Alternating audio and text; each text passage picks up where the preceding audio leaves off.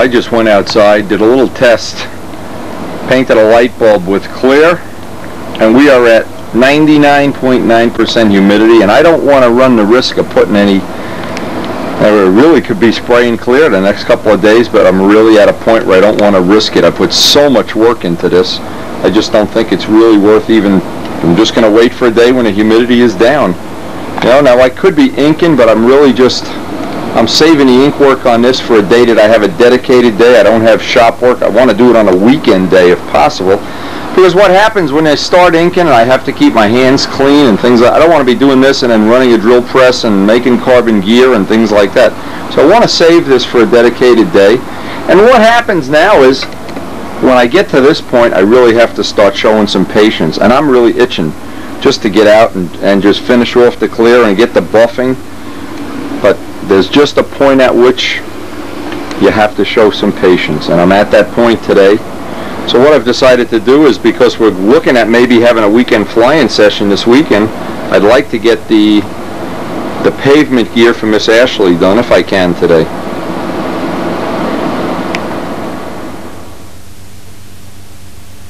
When we have this humidity level, and I mean we are really, it, for April, this is just the most ridiculous thing. The temperatures are in the high 90s, mid to high 90s. The humidity, you can cut the air with a knife. Even my pilot here gets sweaty. It's a little Giorgino pilot. Now, whenever we set up, at least in the past, what I've tried to do, I have these little ways that I'm comfortable with setting up landing gear. What What is really a nice way to do it, though, is that you have to know where the CG is in the plane before you can really set up the wires, or what happens, you wind up bending them back and forth, back and forth. But to get a good square one place to mount the gear, I always use the little th- the little trick that once once I have the plane balanced, and the plane has to be balanced to do this, is to hold the nose down, let go of the plane, and it should just just very gradually go up. If it goes slams down, you could be bending the gear further and further back. So we find that location. Let me answer the phone. We find that location where the wheels want to be first. Okay, now what happens, so that you understand what happens, if the wheels are very far forward, and I've tried to exaggerate this in this drawing, when the wheels are too far forward, plane is flying in on its center of gravity, you pick the nose up just a little bit to flare it in. That would be, no, but the wheels are in front of the center of gravity. So as soon as they hit, see what happens? They change the angle of attack, which usually results in a bounce. Now, the first time I flew the plane was on grass, so I had the grass gear already done. That's not a problem at all. That that worked out. And on a grass gear, you could just move them in, a, in extreme forward position so that you don't chip a prop or whatever. But when I'm on tar, what I like to do is I like to be able to land with the gear so that the gear are under the center of gravity. In other words, it has to push up on the whole plane, not push up and change the angle of attack. So if you can picture what that's like, when I'm set up just right in the landing mode, the gear are going to be just ever so slightly in front of the CG. So that when they push up, they don't tend to dramatically change the angle of attack. And if you have that concept, it's you, you can almost, I'll, I'll bet, if I look at the old Nats footage, I'll bet it's been you know, a, a, couple of years anyway since I've bounced. You really have to try to bounce a landing. And there's nothing more frustrating than coming in with a plane and you're flaring, flaring, flaring. At the last minute it hits and, and bounces right. So this eliminates one of the things if you get the pavement gear just right. This really eliminates one of the problems.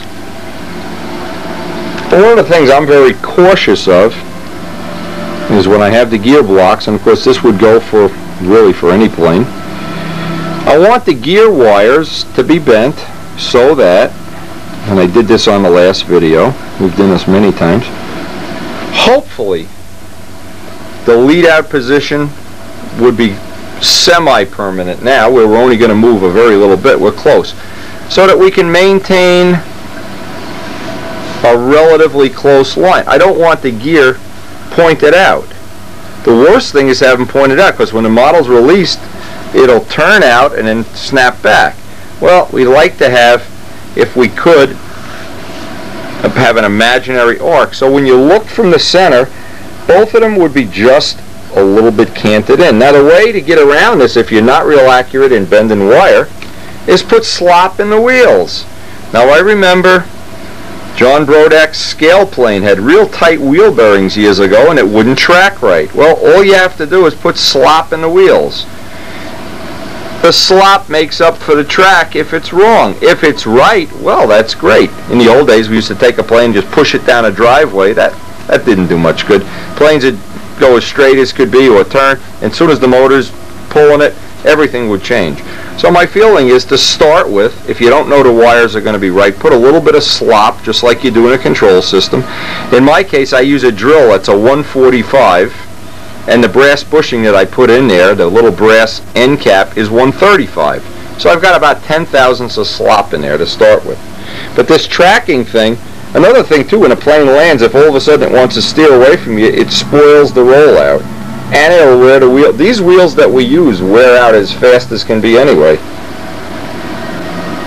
Another thing too, we're going to have spats or sides on the on the gear.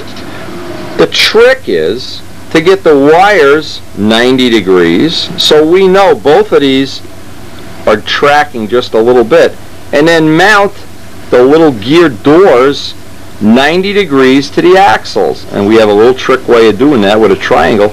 So what that does, otherwise, if these are straight, they're going to act as two little rudders because they're relatively flat-sided projectiles.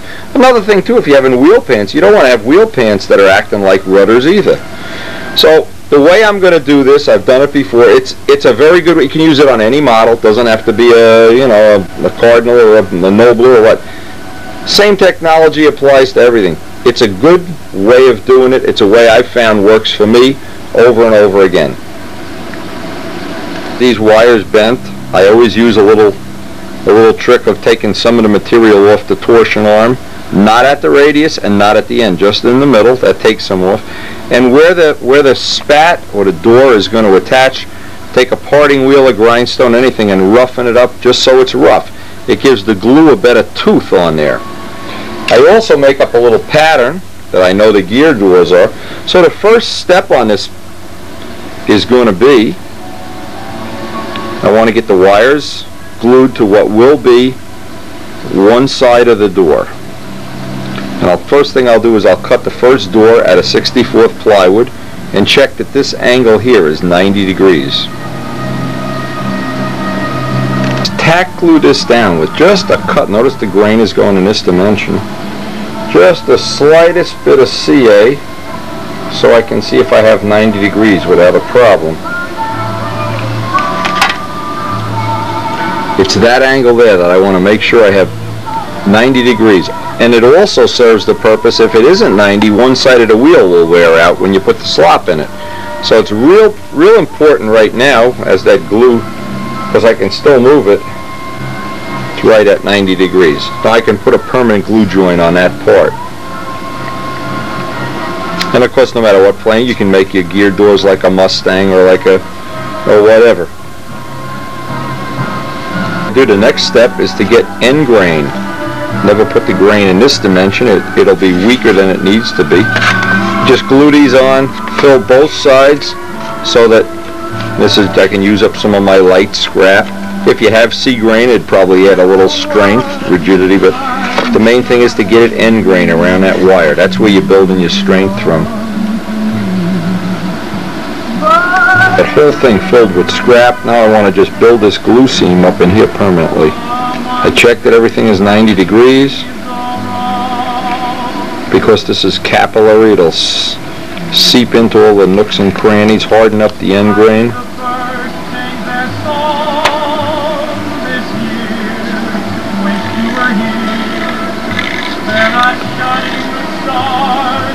What works well for me is to get a little bit of sawdust down into that ditch, let that just build up. It makes a good bond with the wire. And again, every step of the way I'll check that I have my 90 degrees. This, even though this the glue is here, I want this to be a perfectly flat surface because now I'm going to take a piece of 64 plywood with the grain going in the opposite direction. The grain is going to go straight up and down now. So what I'll have is a sandwich with exactly the right thickness, the wire really nice and solid. It should be super light when it's done. Again, that word should be is a big word. And the main thing is to get a good contact between the, in this case, the wire. And plenty of glue down around the wire.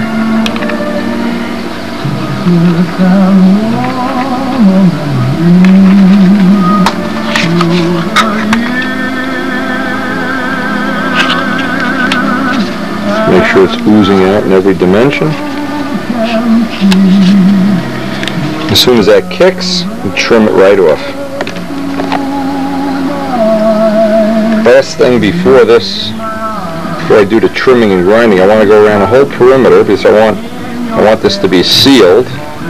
The thin CA will seal everything up nice.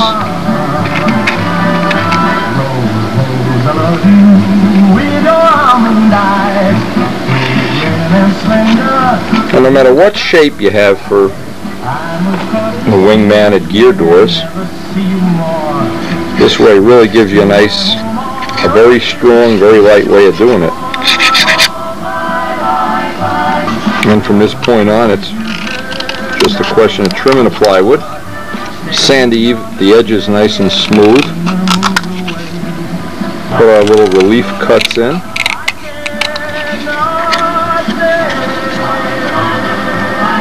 I'll able to do that with a Dremel tool, it'll just be easier.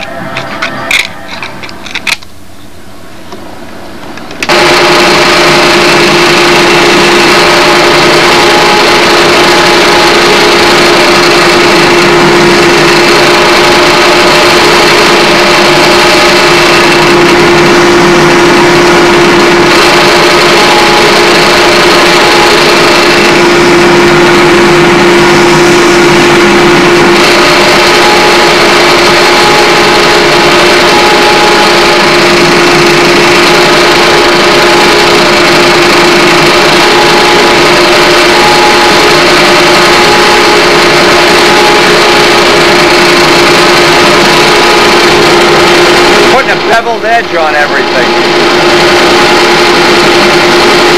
I could take with the Dremel tool, Let's put in a couple of fake lightning holes here.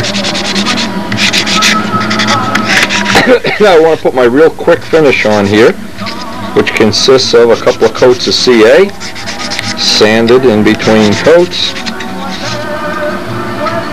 and we'll go right into our finish.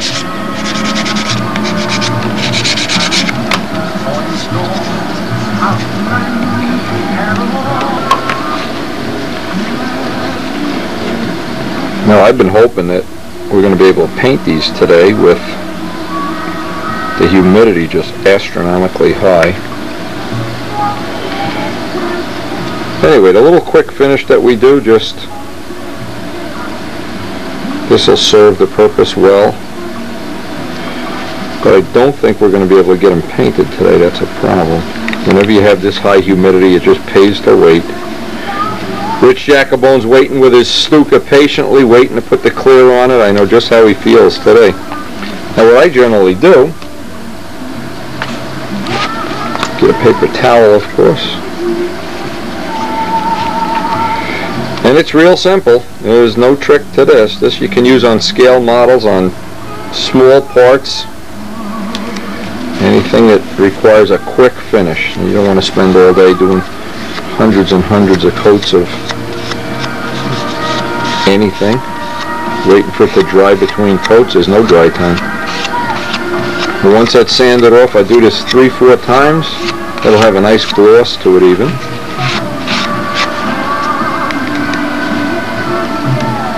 Now the next thing is, this is ready for the first coat of paint. And maybe sand it one more time, I'm not sure. But I'll make the, the other leg and make it off camera.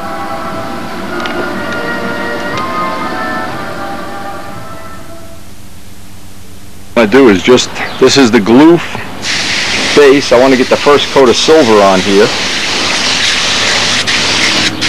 And the objective here is just to use it as a use it as a blocker filler coat. We'll sand this down maybe once or twice. Get a nice finish. If you try to paint something red and you can see the wood grain through, you really need the silver on there. And since we want this to be part of, uh, this will be a final part for the plane. Predicting big thunder showers this afternoon, so I'm trying to rush to get this done. So it can dry outside in the sun, it'll dry quickly.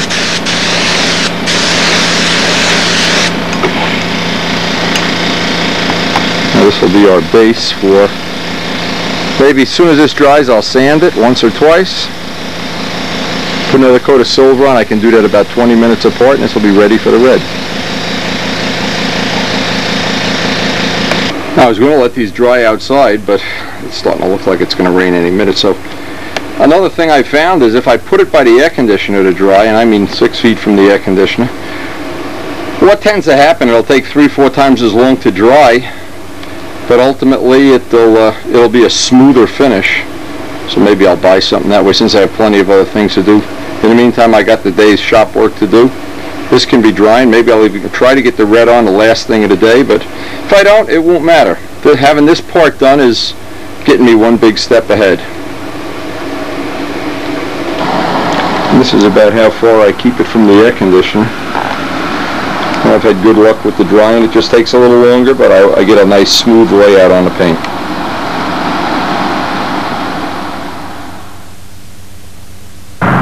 yesterday night we had the storm. Joe, did you get a storm down by you too? Uh, We- rain, but We had the mo- we have we're on a drought, but we've been getting rain. This is the most rain we've had. And what happened is that was so humid three four days in a row I couldn't shoot any clear. There's no way you can shoot clear lately. I don't know how much humidity was in the air. Oh, you got them all set, baby. Oh, still looks good, Joe. Okay, this is this is your new pipe. Okay. Did you run this on the ground yet, or Nothing. glow plug gonna come out of it or anything? No, hey, I made sure that that was safe. I tightened that up, but Yeah, 18 okay. inches from here to the 18 mark, inches, good starting point. Yeah. and uh, you know, Okay. we'll see.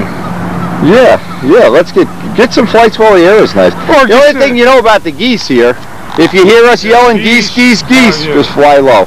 The geese are mating or something over there. I think they opened up a singles bar up the other end of the field. Okay. And uh, I'll, Right here flying yesterday. What was it? Yesterday, Rich? The pipe fell off twice. The screws in the header. This. What'd you do? You do 632 threads? No, I did. You just tightened it up with 440s. What do you mean the header Went come ahead and did the same thing, yes. Okay, so we gotta have two flights and we gotta take the whole thing apart again, right? Well, that means it's your turn. At the, as soon as this header comes off, you're going to buy breakfast for everybody. With that credit card that your wife gives you that has unlimited uh, expenses, Yeah, that's it. that's the one, right? Bagels for everybody. Flight, we want to see if Rich's header repair is working. One flight, and rather than tap it out 632, he just puts two 440 screws in, figuring what can Windy possibly know, and then he tries to wipe it off so I don't see that the header's coming off the next flight. oh man, I'll tell you, this is Mr. Do It Right the first time. Making a little, putting knurls on Joe's header. Joe doesn't have the, uh, where's that header, Joe? Oh, you didn't do it yet?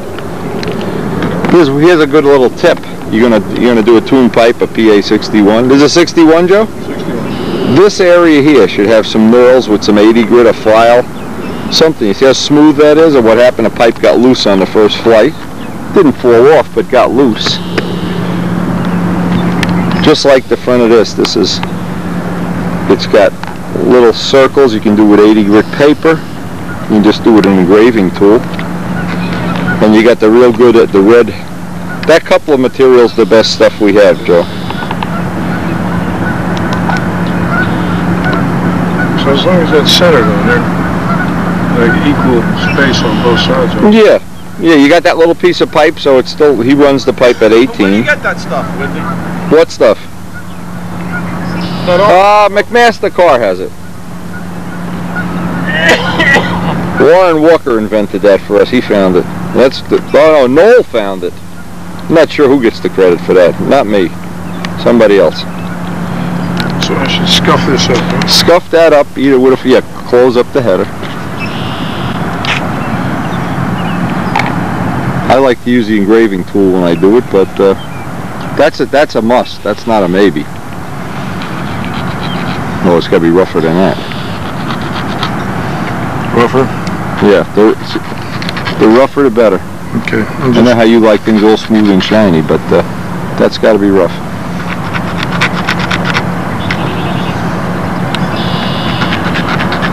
And I found the best is an engraving tool, but this will get us through the day. I'll make them deeper. I just want to, you stem, it should take, I don't want to goo You ready if you ever have your head header fly off, Rich? Gonna gonna give Dub's gonna watch this video and he's gonna say, "Oh boy, this guy learned his lesson the first time. Just goes home and puts the same screws back in. Drill and tap it out." Joe, come on. Are you, And I'm all black and blue. I have to eat my words, Richard. I want it on camera too. I'm eating my words. He got three flights out of this header. 25 after 8. of our flying site, the Canada geese. Boy, they're killing us.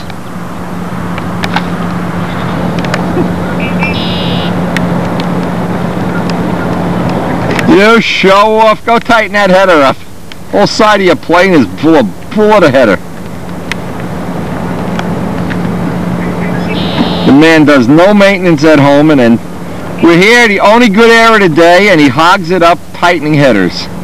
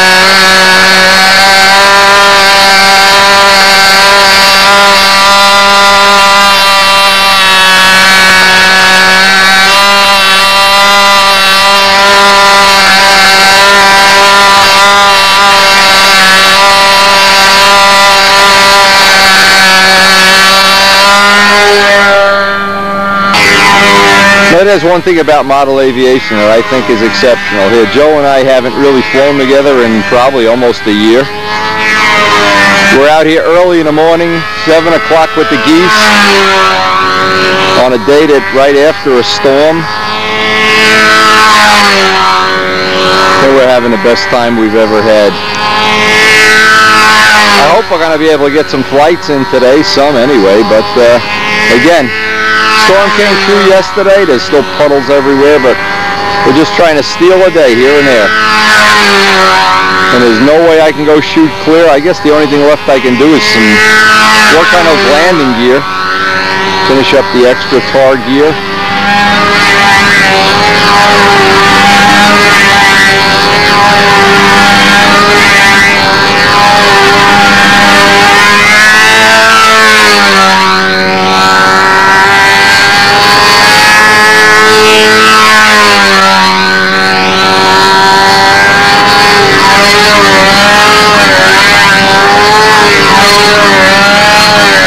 Now seriously, one of the things Rich is having a problem with, the the screws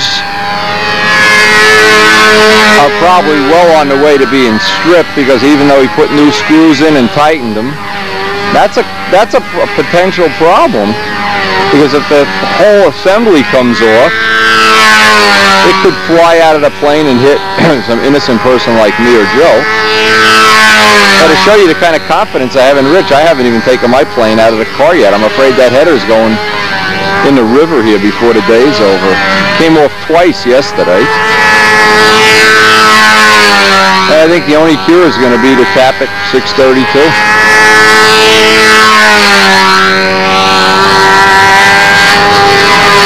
But boy, is it good. The, the beginning of every season like this, we take out the old planes and generally just get together if the weather was going down the drain, what it looks like it might. We, we have a diner real close to the field here. We can go hang out and tell lies and stories. Or we can go play with the B-25. We can go sit there and look at the cockpit and whatever.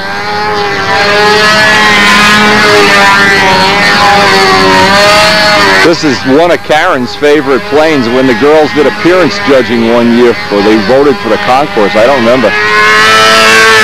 They all agreed this was the prettiest of the planes. I don't know what they were thinking. And my, my plane I thought was pretty, but the girl said no. I think it has something to do with Joe's sex appeal, to tell you the truth.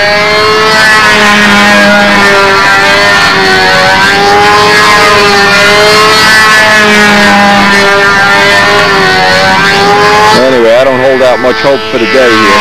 It's getting cloudier and cloudier as we go on.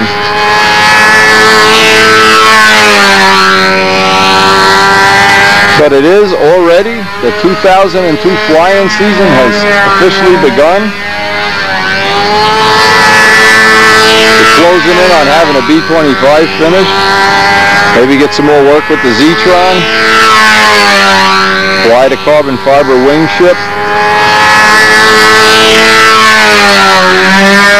Dub's supposed to send me the, the latest updated Jett 60 to test with all the mods and updates.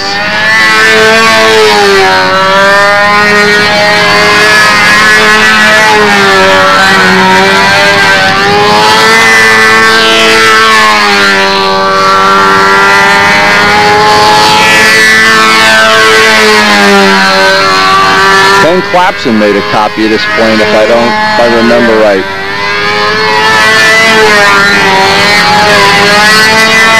Kind of a Spitfire elliptical type wing.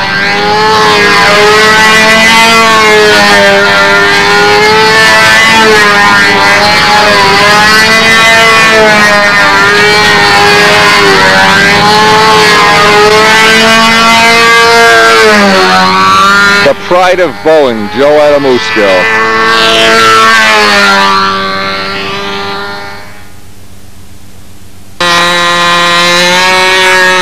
Now, Rich has actually got, I should really confirm this, this is his fourth flight. He's got four flights, and he's going to go for a fifth. But I predict before the day is over, that header is coming off the plane. Let's see if I can predict the future. Boy, I could be like Nostradamus and predict the future here. Rich, you're going to have to retap it, trust me. Look at his body English. Joe, check this body English out.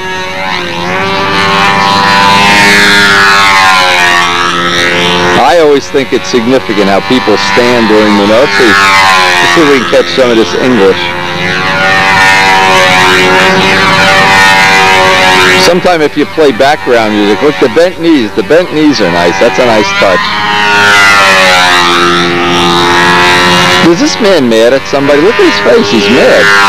He's going flying. He's having the time of his life. And he's mad. Just basically an unhappy person.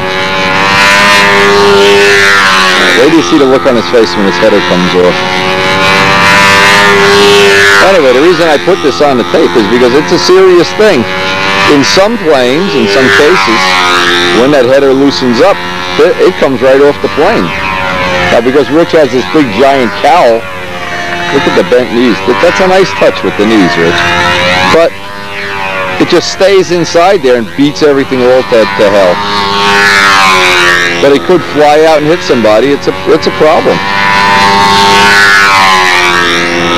Well, we'll see if Rich if Rich makes it through the end of the day. I'll be totally impressed.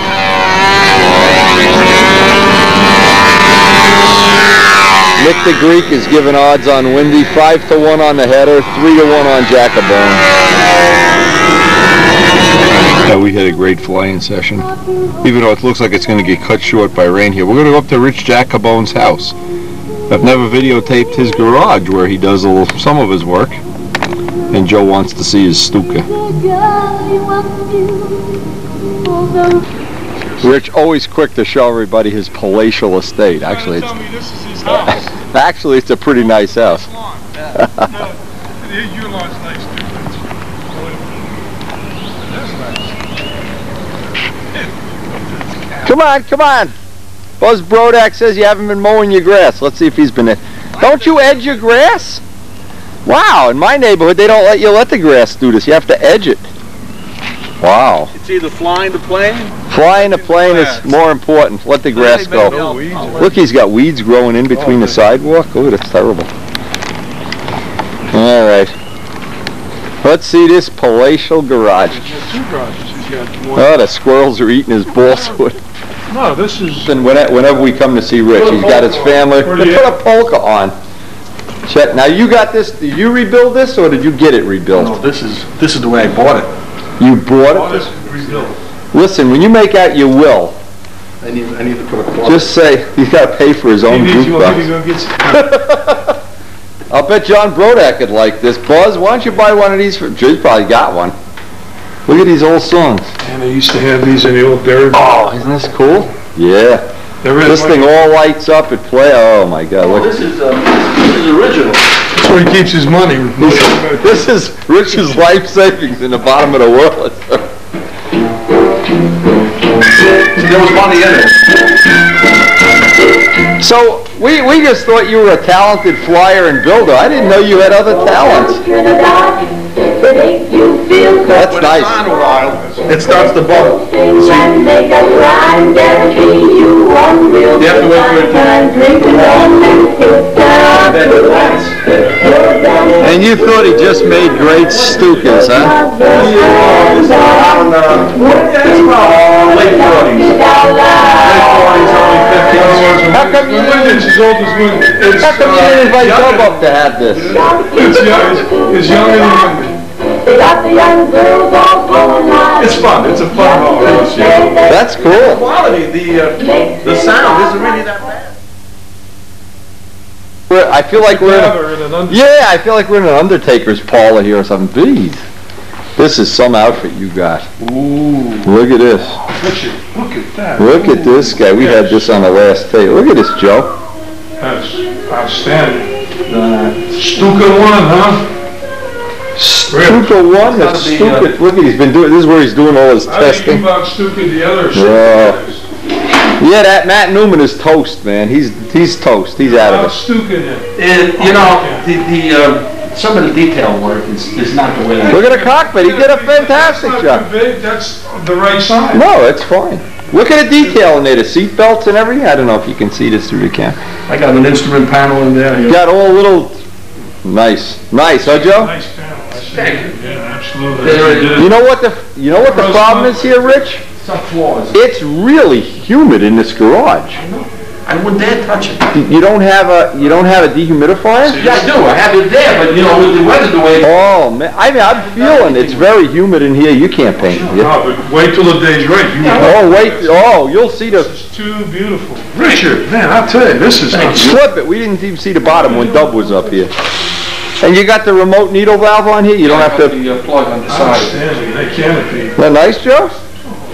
Yeah, no, I told him, without the canopy, you may as well not even build the model. And Well, he- made the And then wheel listen, pants. listen to this, he didn't wanna make the wheel pants, he was just gonna have wire with, with gear coming. You gotta go. Yeah, you gotta make the, look at You this. have, you know. Make see- the wheel pants, make the wheel. I did. Now he says, oh, Windy, thanks for making me make the wheel. This is the cowl. He's got the little things on the tail.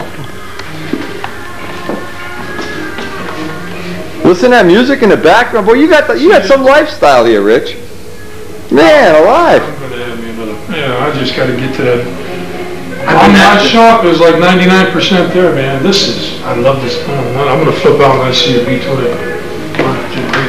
Look how nice that looks. Now that is super. And you, you decided you want to go with two pipe rather than a four Yeah, stroke? yeah. And he's got a special spinner, I got him one of those Russian spinners this, that's a, Joe, that's what I don't like. What's that? It's not finished right. What do you mean it's It not? sh- It should be sharp, you know, like this rascal Put a makes. lot of clear on it. it should be a mold, I told you that before. Why are you trying to blame Joe now? Oh, no. I'm not blaming it. Poor Joe, he comes up here to see you plane. Yeah, it's really humid in here, wow, you can't, no way you're gonna Now, paint what are we today. looking at, that little remote deal? What's that? This is where the uh, hot start goes, Okay. it plugs in here, because you see underneath, Okay. the, uh, the cowl drops down very low. And as a result, it would be very difficult to find the plug. Plus, I would need a special uh, hot start, you know, the uh, battery. Did you weigh this yet? No, I'm afraid to. Don't weigh it. Just go fly it, it'll be fine, it's got a thick wing. Now, what lanes are you using there, Rich? It's a uh, Cardinal wing. Uh, These are all Cardinal Down to fifty-one? They're all the same, yeah, they're all the same. I'm wait a minute, I mean, they're not all the same, because like my, Mr. Awesome is like the original Cardinal wing that. Oh, not the awesome one, no, no, no. This is not an awesome wing. Yeah, you see, the pipe fits in here, of course. Nice tip weight box, that worked out nice. Mm-hmm. And then you got another little cowling will fit on Yeah, there. and I you got, I got a piece there, Oh, that's nice, fits right here. I'm gonna build another one. And the, the next one, I'm gonna make, Where's the wheel pants? You got the wheel pants here? make the, uh, the cowl. Mine, you know, mine had, I had like a yellow, you know, a yellow band or yellow Yeah, something on yeah. the rubber, and the cowling was yellow. But this was uh, Without the canopy though, it's toast. The canopy makes the whole plane. outstanding. Oh, yes. Uh, they're good, but they're not like his quality. You know, his quality is superb. I, I just don't know how to do the work that he does. Just that when you're gonna do your test line, just use some regular. Yeah, just put, just put wires. It's all trimmed, yeah. Yeah, I I have, just made up grass, uh, pavement gear for my plane. I have uh, another set of landing gear without, I think this is gonna be one of the most exciting planes and it's, as soon as we get, he's having the same problem I am. It's all painted on. Neither one of us can shoot clear on a B-25 or this because of the, I had It's one tremendous, one coat of tremendous. You can see the windows even. on it. just too humid. And now if I touch it, you know, with your bare finger, you know, you're in Wear the rubber gloves. I've been wearing the rubber gloves all the time to save it's all right. getting It's fingerprints it's on it. fun plane. Those are good gloves. You know that uh, acetone doesn't eat holes? Rich is gonna demonstrate his, uh, H, you sure this is an HVLP? Yeah. Looks nice. See it? Look. Yeah, I can see it.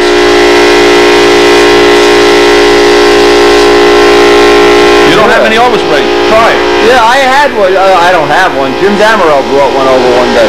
Yeah, but his is clumsy. He's got the big hose on it, you This know? looks good. Right. How You many, can see the, uh, you can see the, uh, the spray. Yeah. I can see it. It's a nice mist. And who makes that gun? This is a, uh, it's a professional gun that they use in body shops. Oh, your friend at the body shop It's a gun? touch-up gun. Okay. And Jimmy suggested, he said, instead of How much knocking did that cost? hundred and eighty dollars. Well, you got the money. Sell your jukebox. Go on. Matt Newman doesn't complain about the price of spray guns. Nice. So, uh, That looks good. Nice tool. You know, that's, that is a, And a compra- Campbell stuff. I've been selling a lot of the Campbell's, the spray. They're bulletproof. well, for the never way a we problem. use them, You know? never have a Brodak problem with them. finish? Yes. All Brodak.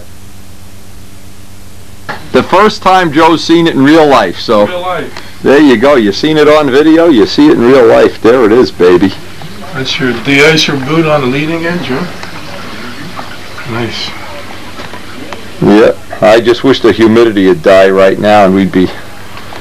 I got to clear the. I got to ink and clear the wing.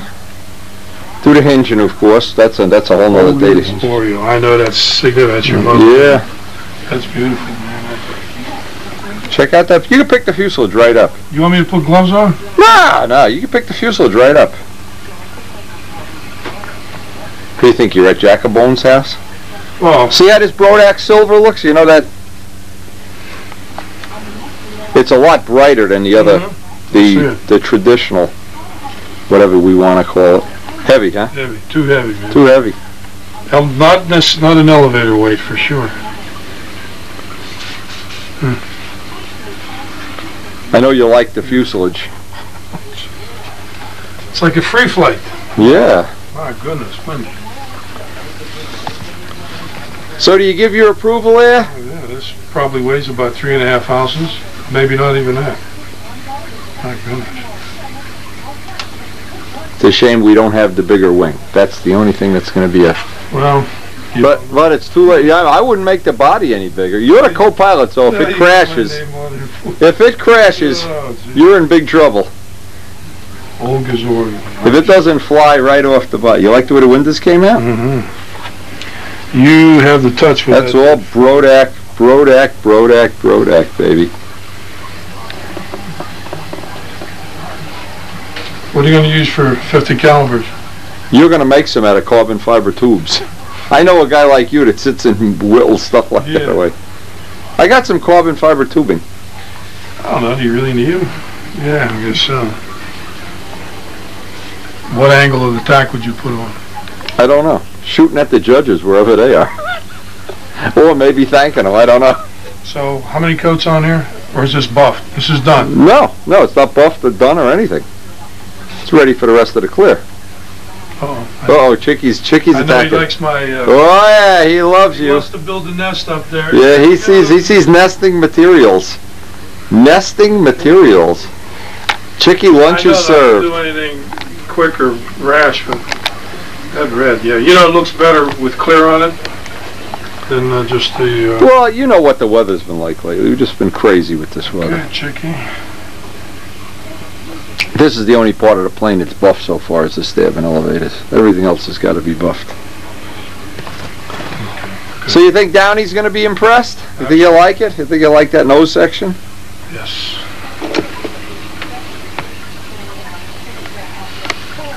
I can't wait to finish it. I'm really, really itching. Now, Joel and I really had a great visit, and we've got a plan for something. I know, I know Ron Merrill's going to like this. Joe's researching out a a P6 Hawk as a biplane project for the future. He's going to try to get Dave Downey to do some research on this Hawk thing with the claws on the wheel pants. Had a great day.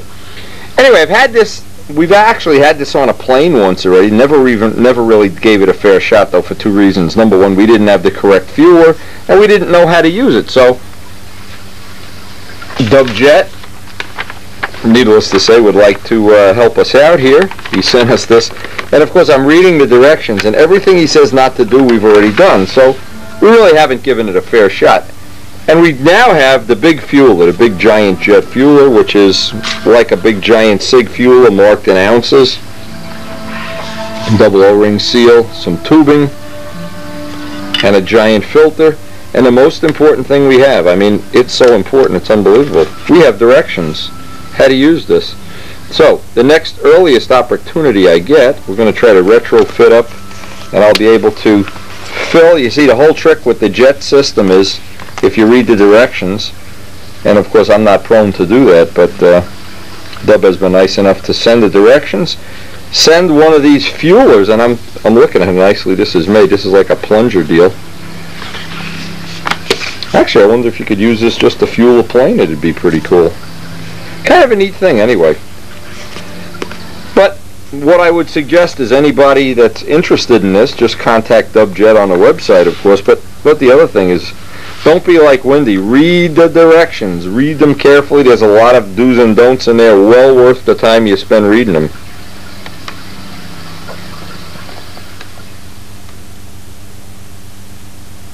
Now you can see how our last coat of silver's dried up here. And before I put what I hope will be the final coat of silver on this, I always want to radius all the little edges. Because we have a CA base on this, there's really no filler other than the silver. So a couple minutes with the some 600 sandpaper will make for a pretty nice finish, I hope. And we'll be ready to do some pavement rollouts once we get this done and some, I hope, some realistic landings with the tail wheel held up high and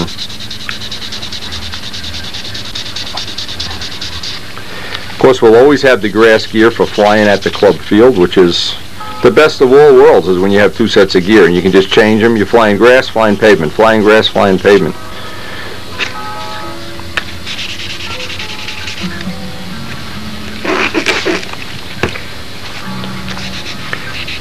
looks like the weather has gotten colder again, but we did take advantage of a little gap in the weather here to get some little, some fly-in days, spend some time with Joe Adamuska.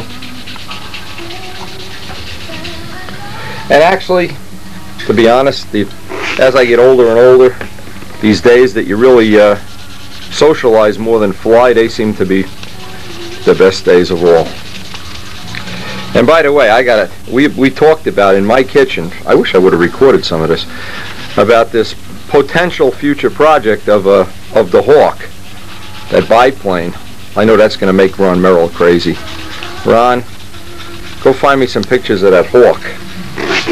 Dave Downey is secretly, secretly, I don't think he really knows that I know yet, but working on a uh, a biplane of his own design we hope we'll have some pictures of the, the, the drawings relatively soon. Anyway, let me get a paper towel. This is going to be ready soon for the last coat of silver, a coat of red, and maybe four or five coats of clear.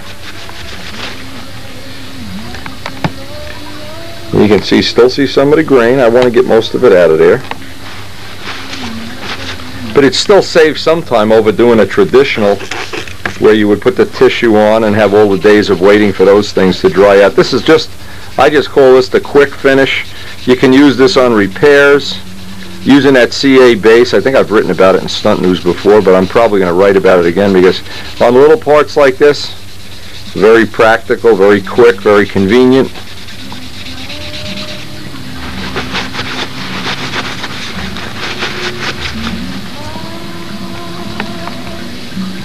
We're ready for our last coat of silver. That looks like it's gonna, one more coat will do it.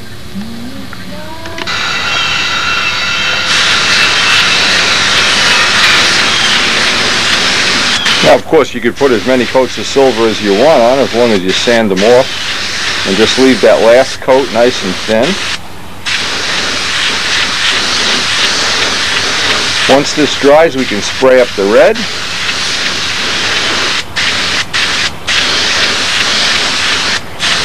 I always like to make sure that before I put any color paint on, I have enough enough coats of silver that it's going to act as a nice substrate.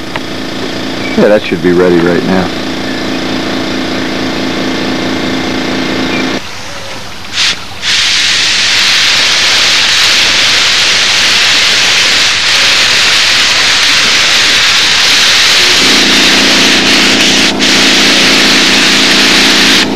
Nice things about the Miss Ashley Red is that you go over silver, it really is a bright, bright color. The color that I really like.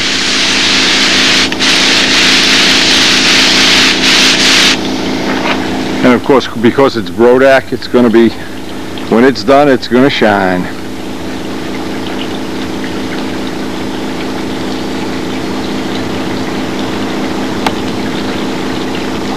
Now, this is what we've really been waiting for, is some rainy days. because I wanted to have dedicated time to work on this B-25 wing. But the first thing I want to do, I want to get the landing gear finished. This way they can be dry and see it's all in time management. For me anyway, it's all time management. Get the landing gear dry and I want to get that bubble tank mounted. So I'll have all of the all of the jobs that I normally don't need decent weather for except for test running the test plane. But always I get the maximum out of a rainy day.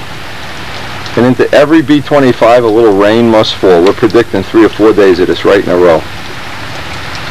Next thing is to get a coat of clear on the gear legs. Now because the gear legs, there's no canopy to deal with, no ink lines, I'm going to just put retarder right in the clear to start with.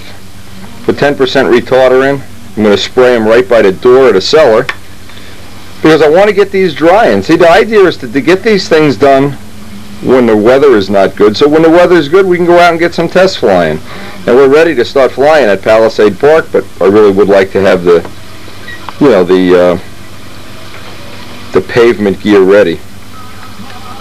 One of the things, you know, I always try to, I really try to encourage other people to do as well as do it on my own, is to use time management well.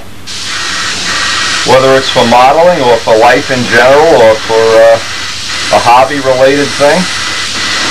But on rainy days, I try to plan rainy day projects. Now you can see, if you look right in the camera, I'm painting in the rain. Now there's, there's a little bit of retarder in here. There's about 10% retarder. The problem is it's going to need more than 10% retarder, I'll bet. But I'll, on, a, on the case of a little part like this, I'll monitor it for half an hour. If it starts to fog up, I'll just put a little more retarder in the paint. Putting it on light. You don't want to put on big, thick, heavy coats when it's raining.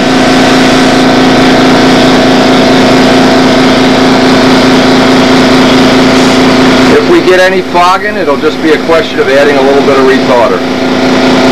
Nice, not a thick coat, a thin coat. Now we've got our stuff. This is going to dry up. And we'll probably get two or three more coats on that as the day goes by, but like I said, they are predicting rain, rain, rain. A little bit of retarder, as long as you're not worried about melting the canopy, melting ink lines, it really will be no problem at all. We'll actually by tomorrow be able to put a little gorms on this, put it on the plane and be ready to go.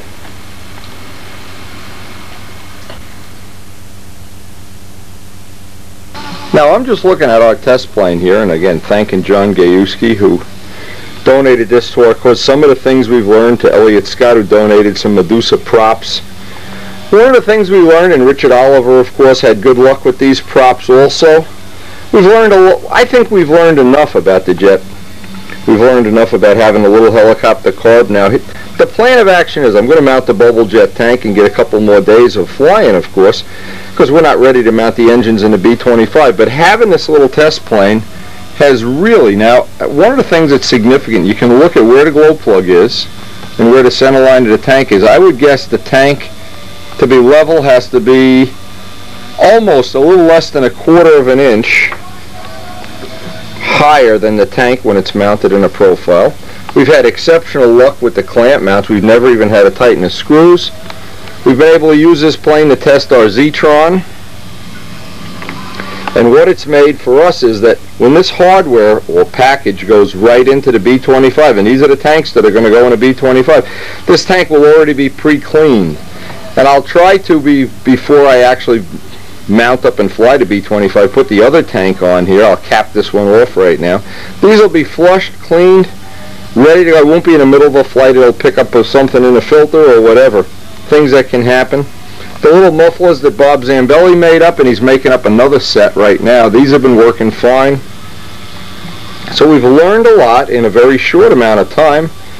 Had some really good fun flying. Even Dub Jett got to fly this. So, and now we're closing in on having a B-25 finished. I want to finalize all the other things that I can, and hopefully, if we get a break in this rain, get a day or at least at least one flying session on that bubble tank. Cause I want to learn how to fuel it and how to do it the way Dubs suggests, and thankfully we have directions, and of course we have Dub's phone number. Always nice when you can call up the guy that makes the product and get his information. The other thing this is going to allow us to do is we know we have to be a little less than a quarter inch above having this universal tank mount.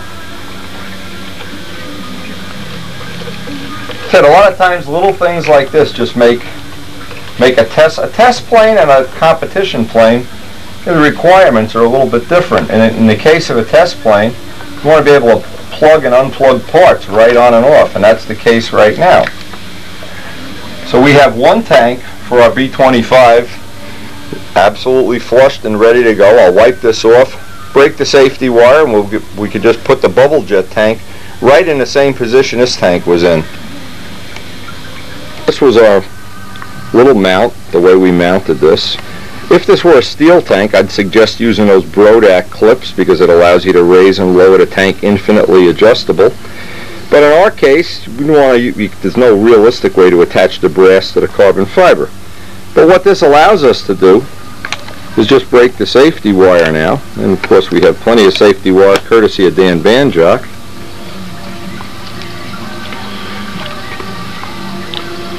Have that double-sided tape on there. I have to pry that off too.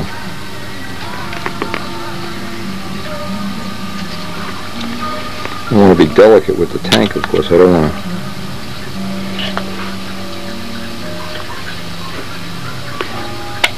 I think what I better do is get a brand new blade and get in there. I learned is these tanks drain right to the last. There's probably one or two drops of fuel left in. So we've got a good, nice run characteristics and nice shut off. Motors were shutting off real nice. I want to clean this. I used this double-sided tape, and what I wanted to see if it would happen if this reacted the same way a lot of glues do, just by warming it up.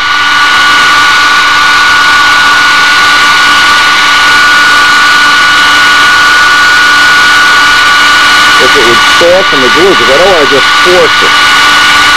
And if I'm going to force it, I'll, it'll be on the end cap.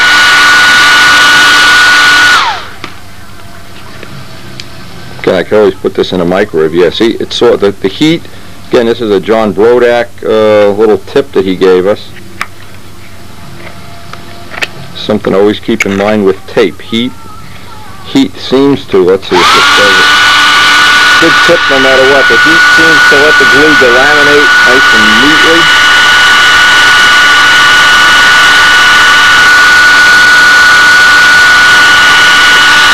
Well, and a lot of times you have a piece of tape on something and you just you're just nervous as a cat trying to get it off. In this case, I don't want to fracture the tank or anything like that. But what I could do, I've been kind of resisting this idea, but I guess I have to do it.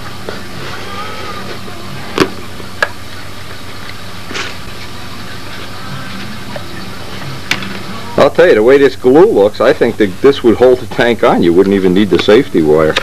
Wow, that's some strong stuff, that double-sided tape. Anyway, heat will get the rest of this off. Heat and a little bit of acetone.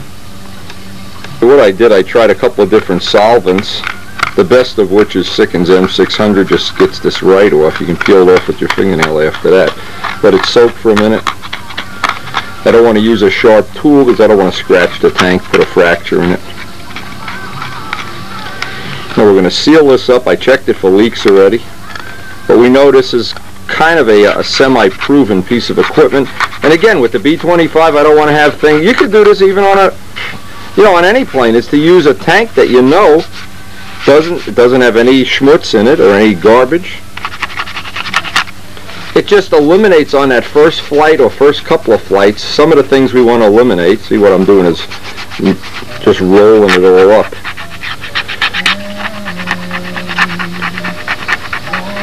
Again, on that first flight, first couple flights, how many planes I've had that halfway through the flight, and in this case, we won't even know if one engine's going dead lean and the other one doesn't, or and we have to still figure out a way of synchronizing the motors. But looking at this double-sided tape now, I've learned another thing. This is really strong stuff. See how it's rolling right off like the rubber cement? Amazing. Final thing, just clean the whole tank up with Sikkens M600, remember, because it's carbon, you never will get any rust or corrosion. You don't need to put fuel in the tank. In fact, I would suggest not putting fuel in the tank when you store it, but just capping it off. We're going to cap it off with some of our little overflow caps. And now we have one part of the B-25, I'd say, ready for a test flight. And it's as really as simple as this. I don't want to make it any more complicated than it has to be.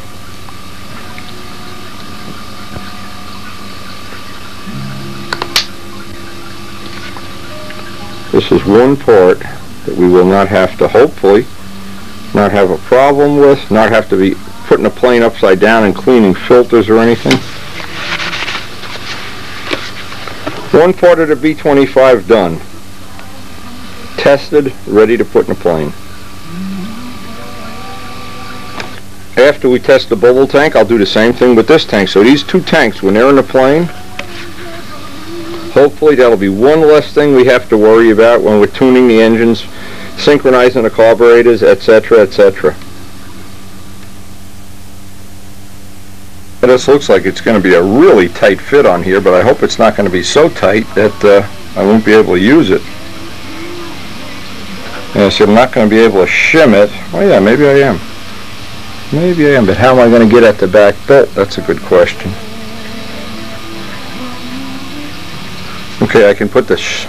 I have an idea. Now with the piece already in place, and I'm going to put a piece of foam in between, just to make sure that I'm not wearing a hole in that tank. But this will get us almost in the position we need to be in. Raised right to the point it was with the with the other tank, but I'm not sure because it does hit the back of the engine. It's not going to be a little crooked. But we know one of the things we know then, if this if this works the way we expect, we just need to get a little shorter bottle, which I'm sure we can somewhere in a drugstore we can. The bottle, in fact, we can make this bottle out of some a piece like that out of carbon fiber, maybe. Maybe I'm just thinking we could take a carbon. I wonder what Dub would say. Take a carbon fiber tank and leave the end cap off. We could mold something like that. Let's see how heavy this is. Oh yeah. Anyway, a lot of possibilities, but we do want to get this tested, and a rainy day like this is a good day to do this kind of work. Certainly not going to risk or waste a flying day, a day we could, one of those rare days we could be flying. It's worked out. This looks like it's hitting the back of the motor, and it is, but it's still a free flow here, so I don't know. I don't know if that's going to work. We certainly have enough that we can run the motor and try it. Now, I don't want to make these too tight. I don't want to pinch the tank. Yeah, that's solid enough. This and we're at the same mean average height as the other tank, so that'll give us a reference. And the zip ties will be a nylon to nylon um, friction point. Now this normally would go to a pressure fitting, but we don't have a pressure fitting on this muffler. I'm going to have to see if Dub says this is, if this can just get exposed to the air or if I need to make a pressure fitting. And of course that'll be, that won't be a big deal. I'll ask Dub in an email today if that's what's had before we actually run the motor. But that looks like that's going to work. And if it does, these tanks are readily available. We get to use that big fueler and uh, simulate the way they fuel and the fuel draw and the fact that there's no air in the tank. Well, we're not going to know this unless we try it. You know, talk is cheap, trying is expensive and time consuming, but we're going to get out to the field probably very soon, as soon as it stops raining, and give this a shot.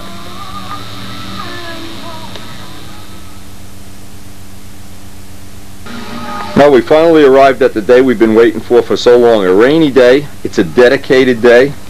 I basically have a, a giant chunk of the day that I can work on and I'll do.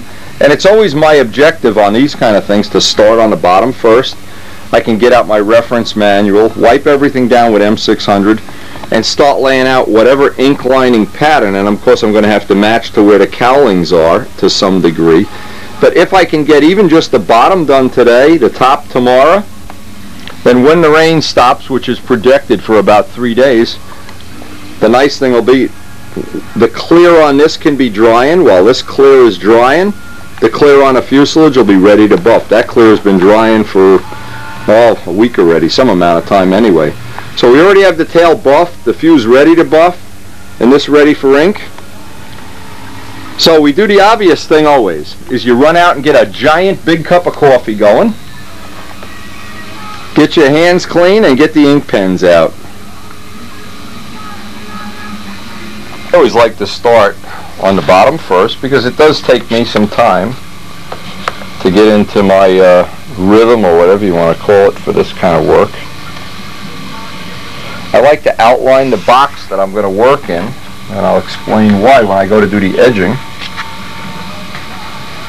And we're trying to simulate this close to being a stock, a, uh, a realistic, prototypical ink line pattern, but we're not going to be fanatically dedicated to having every rivet in the place that a scale plane would have it.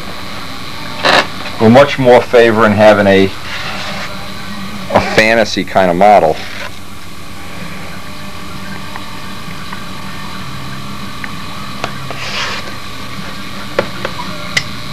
Now one of the things I want to try to use on this because I have a lot of compound curves, you see how this is? This has a very unique shape where one side ink won't run under it. And what happens, you bend this and it stays bent so you can make these kind of curvy ink lines. The first thing you have to do is get out all the curves. And I wanted to try if I can hold this in position somehow. Let's see how that would work. You can't, ah, see the problem. It, it doesn't bend this way easily. Oh, so that's going to be a problem. But anyway, what this, what I can do now, I can use this for, it won't be, I, I thought I could get an ink line out of this, is I can get maybe half of it done and then kind of roll it, or I can get the curve that I want and then just make a plywood template up. Not sure how I'm going to do this yet. Time for that cup of coffee. Now what I, I thought of the easiest way to do this is just use up some 64th plywood, get a nice edge on it, because we're going to use this, let's hope, in uh, several different spots. I need to put the tape on both sides because I'm going to use it in a reverse mode on the other side. But what this will allow me to do is get an ink line. Actually, I had it upside down. With that curvature, something, something similar to that curvature. Now I have to put the tape on both sides of this, so this now will be my template for the maybe both sides. Maybe I can use this on both sides. I don't know. But I thought now if you have a flat area, see if this, if we were going in this dimension, we could lay it right on the wing and use this. I never took into account that you really can't bend this. As you bend it, it, it twists. So even though I, I'll find something to use this for, I'm still committed to making a whole bunch of these that are going to be for curved angles. And you can make the, the for one sheet of plywood, you can ink a whole plane. Now to have that piece taped in place, it's going to be a little difficult to work in there, but let's see if we can get it.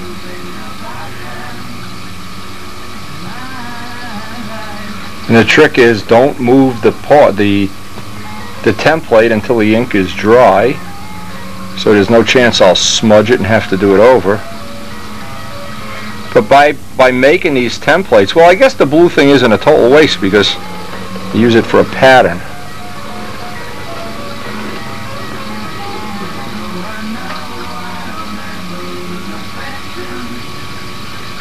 Now just let that dry and as soon as it's dry just carefully peel that back and I'll have one of the ink lines in place. We just want to get some ideas. We're not going to try to make a total simulation, but I can get an idea that we have one running the main, one this way, and then this one divided in half. That'd be a good place to start. Now, when you're doing a, a line over an airfoil, see if you have a rule, let me just show you, and you're trying to bend it, well, it gets difficult. But if you have these flexible templates with a little piece on one side, this can be relatively easy. Relative is always a big word. Because I can be doing this while that other side is drying. And that's always a nice way to have it happen.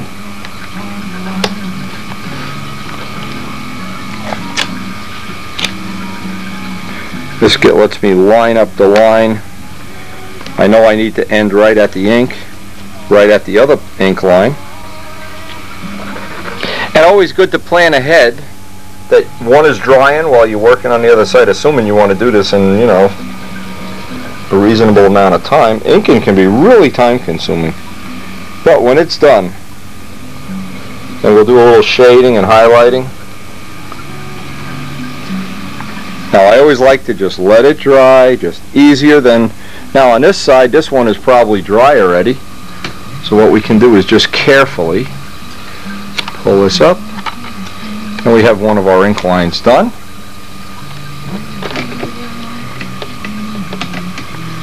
We want to peel this back. And now the trick is using a ruler to connect the dots.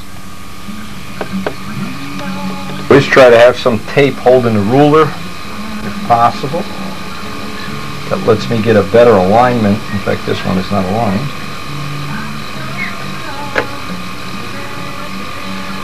Okay.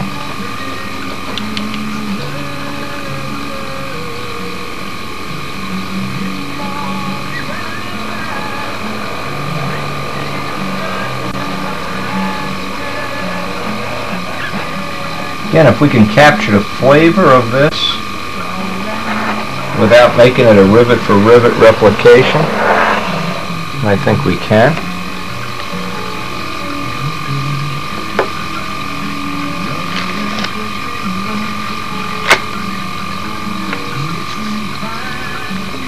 I'm not sure this is going to be exactly how I want it because the leading edge has a couple of span to span joints that I want to try to replicate if I can. But I always find it easier to just lay out a box to work in before I do anything else. Otherwise I'm just like I'm it's like building a house in midair without a foundation. I don't I don't have a reference point.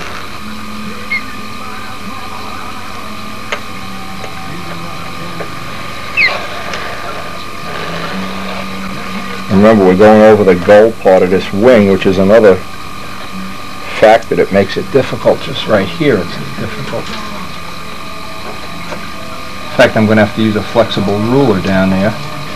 This last piece, the gold part of it is a problem. So I can go right about up to there, and then the pen starts coming off the...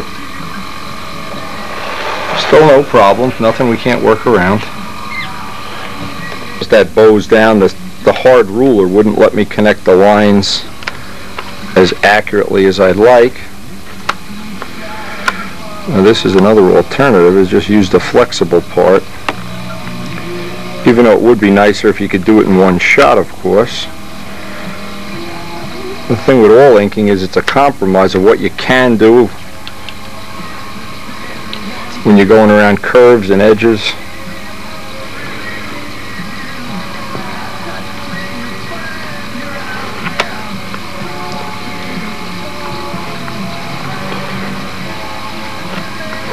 Now, even though we don't have good corners on this, because it's just difficult to get the corners right at this point, the best thing is to just let them dry. If you look at these corners, you'll see they're kind of uneven. Right now, that doesn't even matter. Once that dries, I can take a brand new blade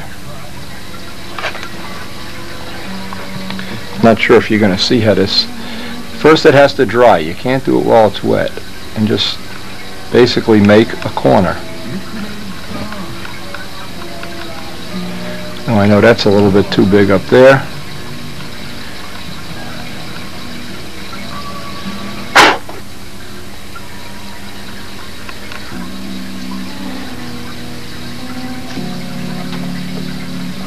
Even though you see the scratch marks on the silver, once what'll happen once the clear hits that, you won't see that at all. I laid out one of the span lines just as an idea of just to see how I would like to do this. get a feel for it. Now I want to lay out the midline and the midline this way. I'll measure it off, of course, make sure it's accurate.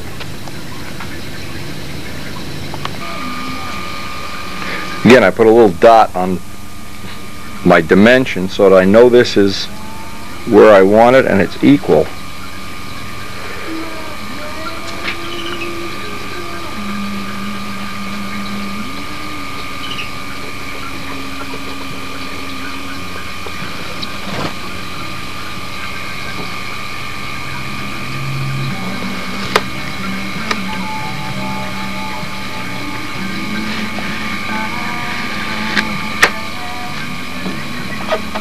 Just carefully clean up the corners, little spots that inevitably get in the corners.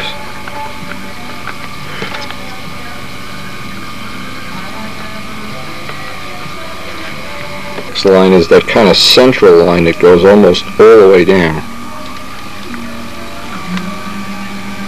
You can see what I've done is just let that dry. Now, just to start off, because I don't want to get, again, that, that magic thing of one too many ink lines. That looks very, very close to what I had in mind. And I don't want to push it by starting to put too many details in here.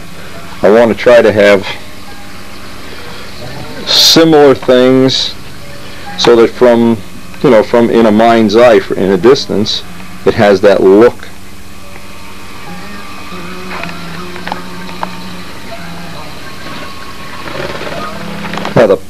the little section in between the nacelles, a lot of these lines continue on in, and I'm going to just do, and I'll do it off camera, just, just something, I'm going to make it as close to being what that drawing is, but I don't want to get carried away here if it doesn't look, because don't forget, this is not a scale wing. That adds another variable into it.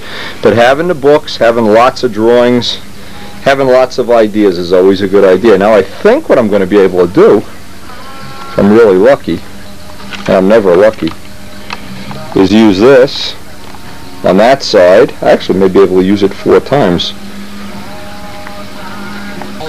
Now that worked out just about as well as I could expect.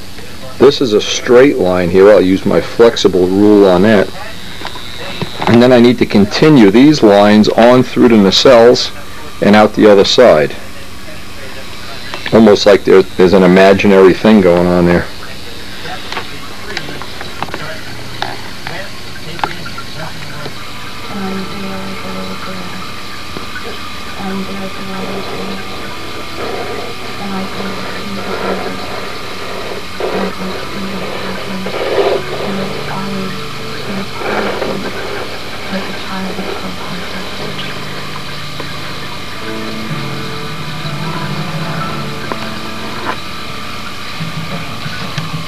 Some areas, obviously you can't get a ruler in there conveniently. Rather than make up templates, I can take one of these uh, these green guys that's real flexible and just hold it with my bare hands.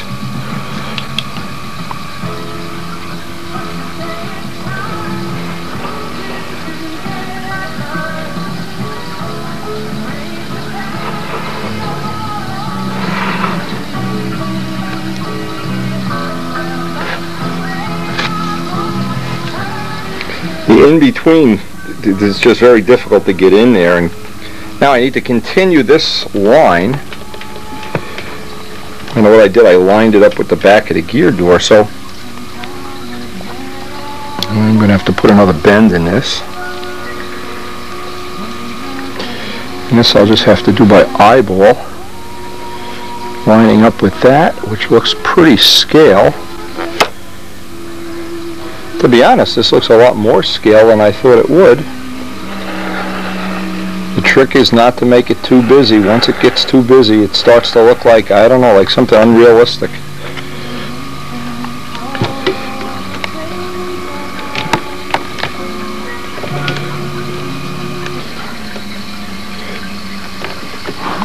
Now a quick look at that, and I'm a quick look at my book, and I think I'm really close to what I wanted, what I had envisioned. I'm figuring out while I'm inking the other panel, again I'll do that off camera because it's going to be exactly a re- replica of that. I want to figure out how to put the bomb door in realistically, or as realistically as possible.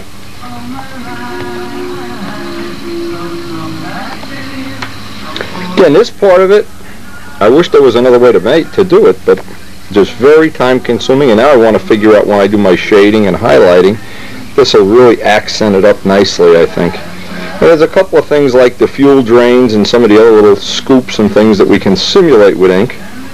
But again, I'm going to just work on it. I know I've got about three days to do this. And the trick is just don't, when you get to the point where you think you need one more line, that's probably the part where you don't need an extra line.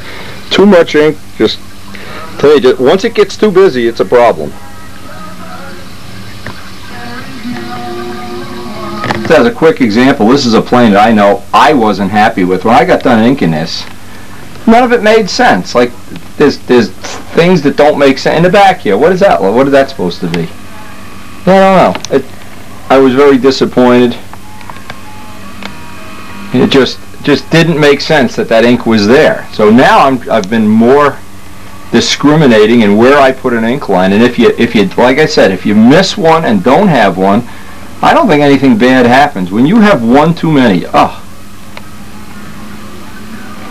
Again, none of this is realistic. That's not what an airplane looks like when you take it apart. Even a not that anything we're doing is super realistic, but here's a good example of what not to do. I mean, what would that possibly? What was I thinking? See, what was that? An Allen bolt holding the fuselage together? I mean, I don't know. So, I've come to my own little baby conclusion that if I'm wrong, I want to be wrong with one not enough instead of one too many. One of the planes I was real happy with, and Joe Adamuska, I mean, he his ink work is flawless, just absolutely flawless.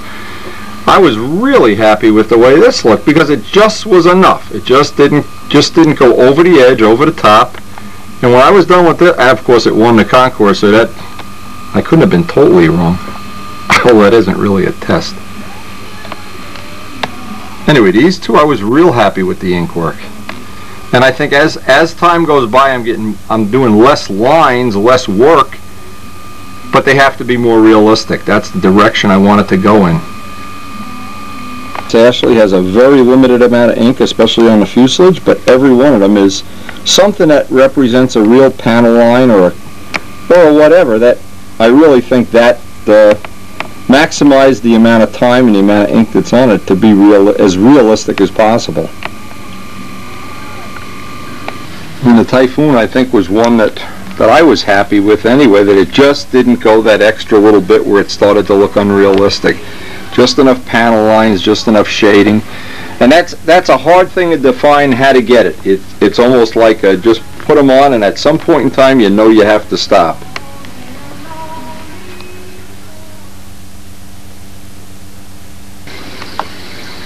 Well, I'm well into the the final part of having this inked.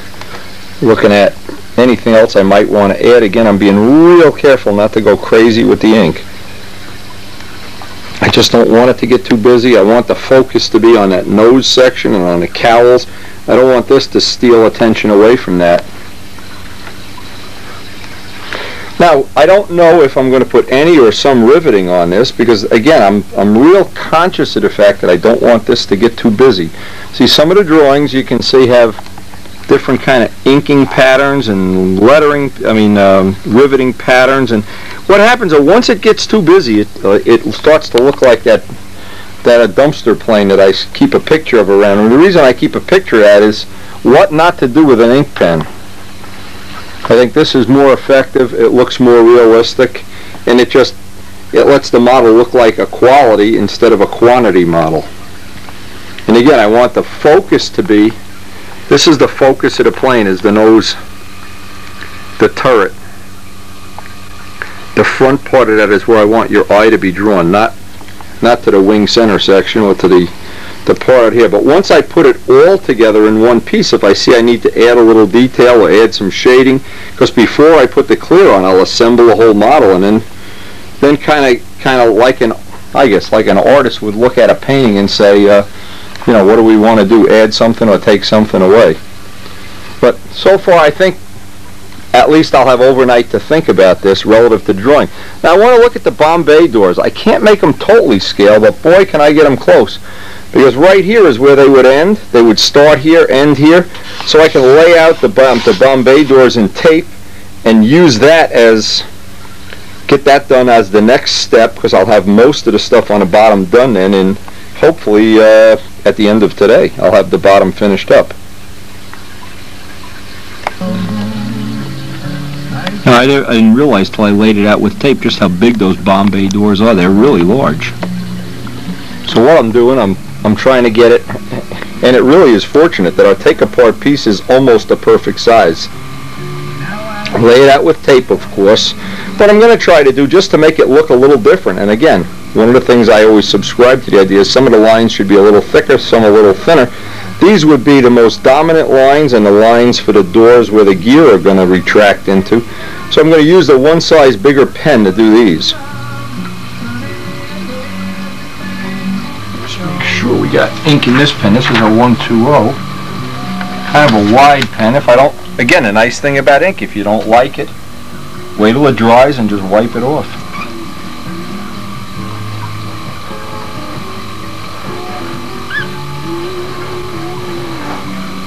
a lot of times when you're doing wide lines like this, the problem is they want to do those little fisheye things. A cure for that is you can wipe the part with talcum powder. I'm just too lazy to go upstairs and get another bo another box of gloves. I'm out of gloves right now. But I'll get them sooner or later. The gloves really have been a giant help. I don't know why I'm so lazy today. Now this line is going to be a focal point because everybody knows there's a bomb bay door here.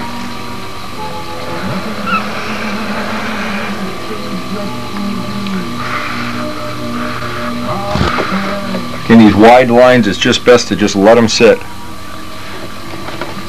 You may not see it on the, on the camera, but the dominant lines, the ones that are done with the 120 pen, they kind of override these, so your eye is immediately drawn to the ones that are dominant which is what we'd like to do because I want to lay out the, the, the well doors here the same way as the bomb the bomb bay doors. Wide lines really take a long time to dry, I, and I'm always impatient to get rocking and rolling on this, but I just have to I just have to be patient. This is uh, probably all I'll get done today is to finish the bottom of these, what amounts to be the bottom of the nacelles. See, I'm, I'm really, really trying to control my um, really looking forward to getting this in one piece and flying it. And it's hard to control that, that uh, at least for me anyway. It's like going to the ice cream store and you're, the guy's taking his time putting the ice cream in the cone or the, the sundae or something. But I don't want to rush it, and that's where, I guess one of the things I've had trouble over the years really learning is patience, just the patience to do it right.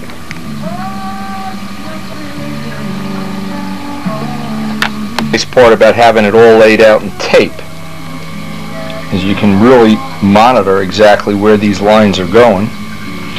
And another thing, when you go around a round or a curved surface, what tends to happen, the line doesn't want to stay straight. It wants to run off on an angle. So that's where these thin templates come in, and I can kind of get the center of the line set. Now in this case, I need to move the tape. It's good if I can avoid putting the tape over an ink line because it may have a tendency to pull it up. But now I can, uh, in essence, adjust this line infinitely. Look at it from a lot of different angles. I want it to follow the eighth inch tape to some degree. And take a couple more little pieces of tape. What do you want? Get out of here. Wish I could teach him to ink. Now, once I'm happy with this, now beware, if you get too close the eighth inch tape, the ink runs underneath it, which happens to me from time to time, and then I think, why don't I just, when I'm done, pretty much from this point on, I don't need the eighth inch tape, I could just leave it off. Can look at that from a lot of angles. Working with big pens, the corners get rounded and then I fill it in with a smaller pen when I'm done. Make the point, the corners pointed. Again, we have this time window, this has to dry. If I try to move this and it slides into the ink, it can make a mess. Okay, now you can see that what I'm gonna try to do is by hand, I don't know how effective this is gonna be, with one of the really fine pens, define that corner a little more. In fact, I just don't want to smear it. And if I've, now I've got a little tail hanging out there, I just have to wait for that to dry. And once it's dry, I can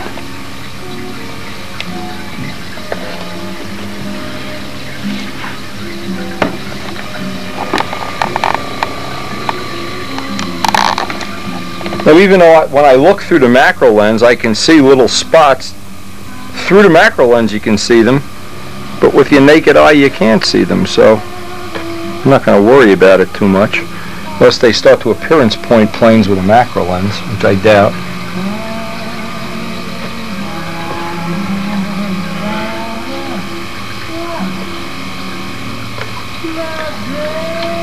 Now the next thing is to lay out the line that will be the opening where the two doors actually come together. And I can do this with, I have some 16th inch tape. Lay this out.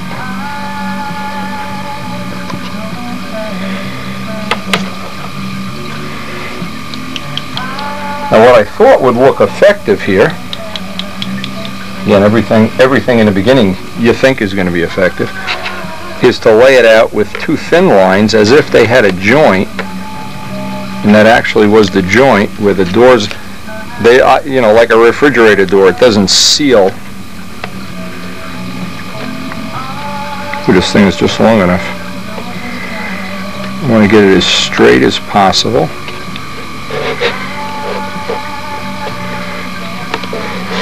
And the neat thing with ink is you can spend an infinite amount of time. You're not, you don't add any weight. So you're really in a position, the best of all worlds, where you can add detail and not wait. It's not like spraying on coat after coat of clear or making some other detail feature that starts to build weight. I doubt if you could even measure the amount of weight that ink adds to a plane. And what I'm going to try to do, let's see if we can do this if it doesn't look good, I'll just fill it in, of course.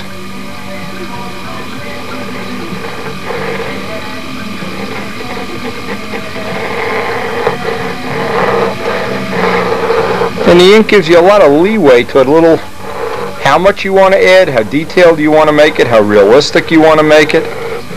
A lot of possibilities. You're not you're not restricted or limited in any way. Your, your imagination run wild.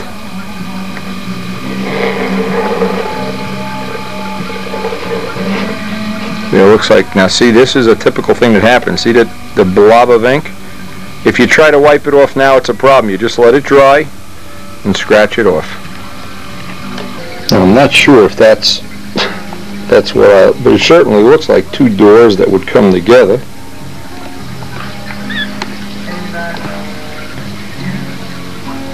Now while I have it upside down, I want to lay out the ink that would be the the place where the gear would retract into the nacelles also and do that with the wide pen.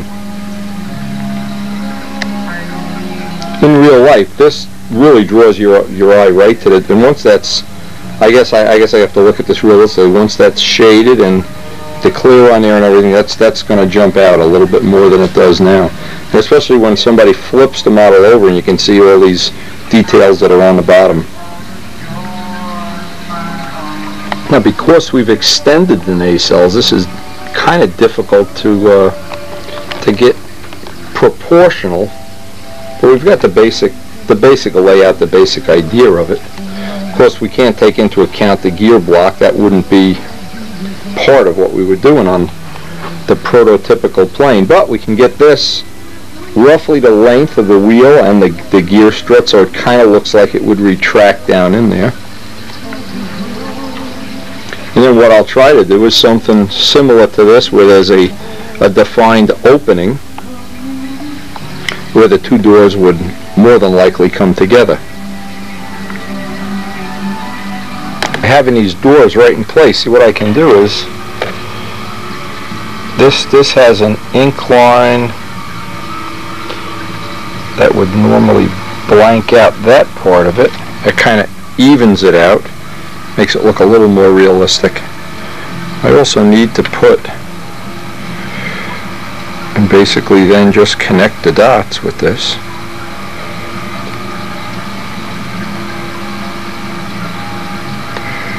It's not going to work.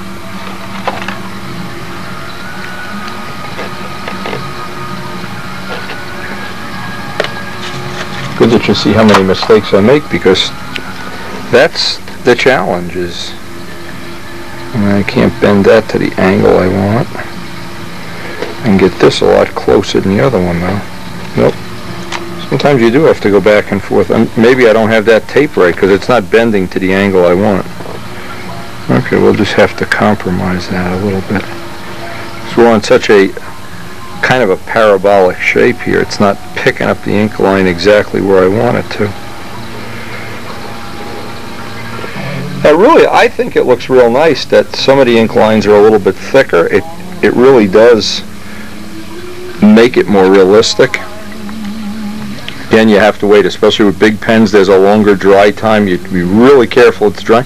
Once I get these two lines in, then I'm going to try to get that, that opening line where these would come together.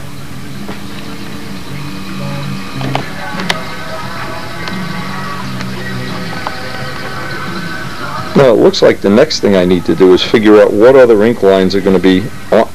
Hey, you want to help me or get off of my arm? What other ink work we would be including up here, if any. And then I'll be able to, well, that'll probably be all I'll get done today, but then I'll be able to flip this and start figuring out the top side.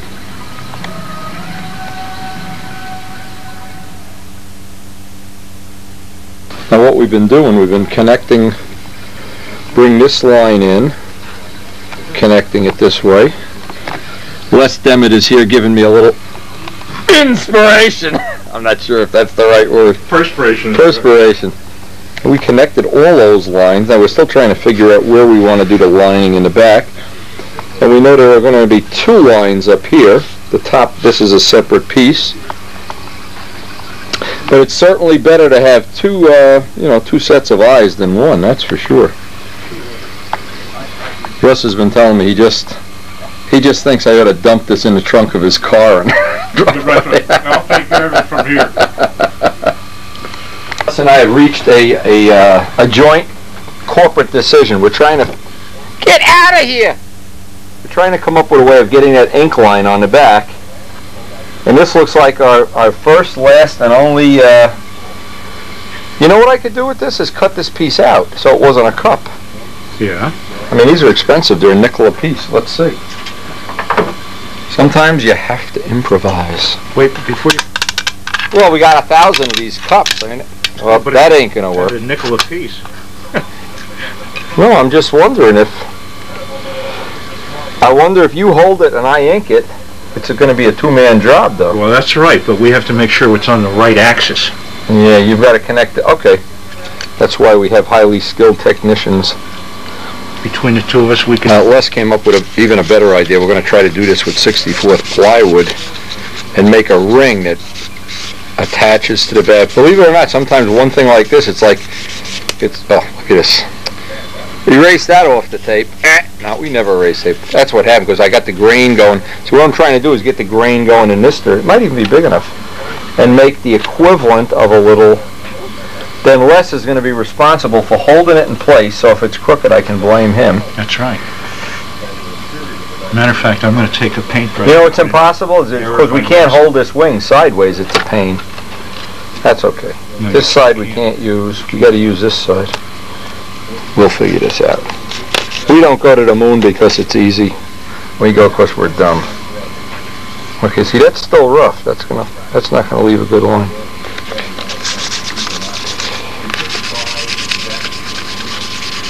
We could even try doing this with that plastic part. Where's that? Here. But you gotta be the one to, you see, the thing is with, with holding it, Yeah. I wonder if you can wrap it the whole perimeter. Yeah, but we, is that gonna stand off enough? Yeah, it That's stands. Yeah, no, it doesn't. You're gonna have to put some extra, put extra tape on the back of this. Okay, so shows you what we know. Exactly. Test and see if we can even do this. And then we have to turn it over and connect the dots. Mm. But it looks to me like you're gonna get seventy or seventy-five percent of it on the first pass. Well, we'll find out.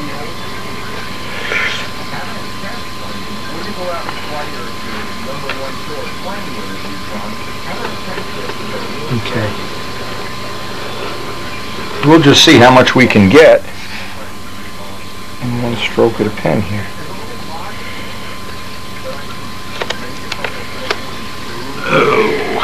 Trying to make them even, so we measured forward. And at that point in time, Les said, what? Why didn't you build a cardinal? That's exactly right. Okay, you got it? Well- You're the hold guy, I'm the ink guy. See, I get the easy job. We're close. The we're senior trying to do is partner. Eliminate, all right, now if you can draw. Pictures. I had no idea it was hurting that much for, Now, what do you think? Have we reached a point where we ought to flip it over? that's, I think that's, that is saturation. This is why I like having two sets of eyes around, especially somebody who's got a, a conservative point of view, not somebody, you know, somebody like Ski Dombrowski would just be saying, yes, flip it over. I think so. I think we're ready to flip, because we have to connect these lines now. We have to play, And connect the set- dots. That'll set you up for the top as soon as we do that. I think the bomb bay door stands out enough. The gear doors stand out.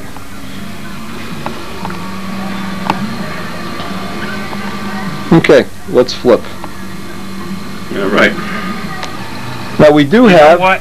It ain't too bad going back the other way either.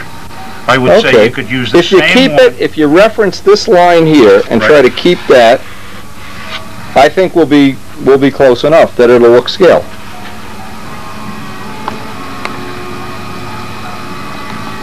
And you know, there's some flexibility in this thing. You can play with. Yeah, yeah. Okay, so we want to, now you just want to determine, do you want to end it at the de-icer boot? How, see how it ends on the real plane? It kind of, we don't have that fillet. That's That's the right. problem. That's right. That's a scale fillet. If we had a big fillet, that would be easy. So I think we should just kind of end it and let it go out into the de-icer boot. Either that or you could carry it just a little bit further and draw a line into the de-icer. Okay, into the de-icer boot, yeah, instead of trying to make, This apparently, this seam line here goes right to the leading edge fillet. So if you, without the fillet, you draw it to the leading edge. let's go to the middle of the de-icer boot and see how it looks. Yep. You don't need the back now because we have I don't need We the, had it, we smudged up the whole front of the line. Yeah. That's all you need is from here. Let this just dogtail back. This is dry. all right, now that, that's gotta come over a little bit more. I just want to get right there. All right, let's Okay. give that a try.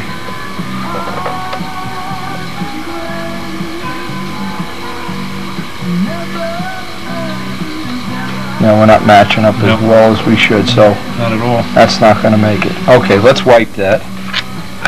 Now, whenever that happens, of course, there's a very easy solution. When you get it early. Okay, now let's, you know, if you don't show these mistakes to people, then they think when they have a mistake, oh, yeah, where if they see the every, world's see, how many times do you do this before you get it right? Well, that's okay. Nobody knows. Okay. Try 672. Take outtakes. Oh yeah, okay. I think we, we may have to put more tape under this piece of plywood. Well, why don't we do it now before, we- Yeah, yeah. before we wipe? See, we only have two, oh, there's only two layers on here. That's what's, what's happening. You have this, and I'm trying to, I'm trying to show religiously that no matter how careful you are, unless is a, a true expert ink man who, uh, I'm being when you- oversold here. When, yeah, I hope. And you want to buy a used bridge? Sell you Les McDonald's home phone number. All right, here. A couple extra layers of tape. And you could bet on the next shot we're going to have this perfect Billy Mitchell's gonna come right over. Hey, you know, three days ago was the day of the, the anniversary of the Tokyo Raid. Is that right? And I look, I'm looking on TV the other night, and there's a movie called Tokyo Raiders. So I go and record the movie. I turn it on, it's some Oriental movie. Oh. You know, with, with kung fu and every. Oh, man. They should make that against the law. Okay, now we have extra tape on this, so let's put it on both sides. Otherwise, this thing tends to bend like a pretzel. you know, I'll tell you something, if you could invent something that would bend like a pretzel, but evenly, Yeah, evenly, yeah. Well, that blue thing didn't turn out to be Well, it was. Now, Les hasn't had good luck with that in his inking not on a career, drawing too. board, not on a drawing board. Yeah. It just does not bend, uh, give you a nice even, Yeah, but a lot of times a tool looks like you say, wow, that's going to work perfect, and when you try it, you know, or the opposite, it doesn't look like it would work, and yet it's perfect. for, it's, it's funny because for most of the model airplane drawing that I've done, you know, 35 and 60 size ships, Right. even the, the curves are pretty subtle, but you can buy relatively inexpensive ship's curves Oh, sure. to do that, you know. Now we have extra tape. Now we're going to get this on the next shot, guaranteed. Les guarantees that in writing. Uh-huh. Like I said, Les said we're going to get it in within two shots. I'm running out of Q-tips here. Okay, but that's the way this. And without this line, I don't, you know, it loses a little bit. Loses a lot. And we're not we're not looking to, you know, be the first guy to the finish line. We want to be the best. All right, you get, you get your line on the back. Okay. We're about where we were in the front. Now it just, if you can, Windy, can't the pen, ah, shoot. Take it away. We'll do it again. What happened? See, well, see, it's crisp, but I don't know No, what that is. no, we're gonna put more tape. Yeah, your fingernail was there. That's okay. This is what makes it, you know, that everybody in the world can do, because they'll say, gee, I can do that better than Windy, and they're probably right. Okay, last chance, saloon. Lose the fingernails. Right. What's happening? See, because we're, we're curving it that way. Yeah, we're forcing the If you just down put one the- finger there, just Right. one there, that's Right. all we need. That's all we got. Now, see? Okay, let's try this.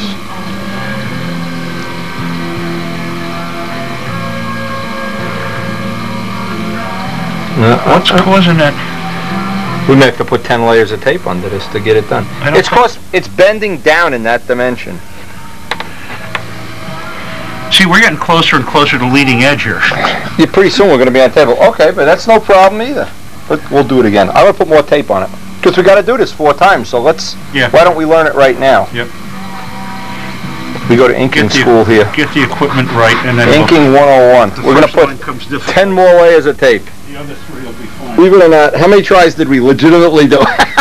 After, we got- after the first one, it was a piece of cake. Oh, yeah. The first one was a bear.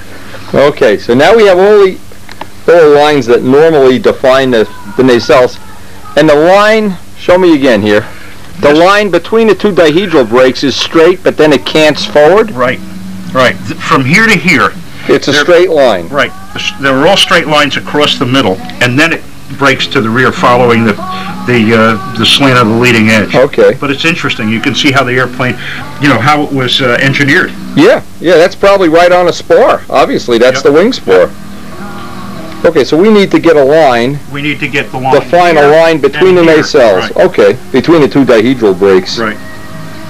between the two dihedral breaks, and we've laid out the dihedral breaks with eighth-inch tape, and Les is going to try to put some indentations into the nacelles there as he presses the ruler. down. Trying real, This way, every dent in this plane, I can blame on Les. You- you got As soon as his hands touch it once, every fingernail mark is his problem. you got it. Now that goes right. We we should put in the two dihedral break lines first, because we otherwise we're working in midair here. Yeah, but what I want to do is, see, now I'm, I've got to guess that when you put this in, this is at a right angle to the.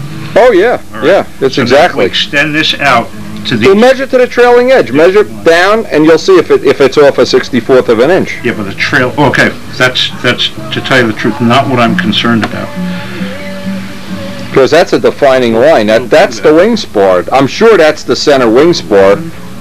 That's the reason it's ninety degrees. Yep, sure is, right, Was that accurate? right on the money. Right on the money. What a surprise! The only thing on a plane that's a straight line. The only straight line on this whole plane. Yeah. Just to double check something. That the Yeah. triangle came wrapped in, I know exactly what you're thinking.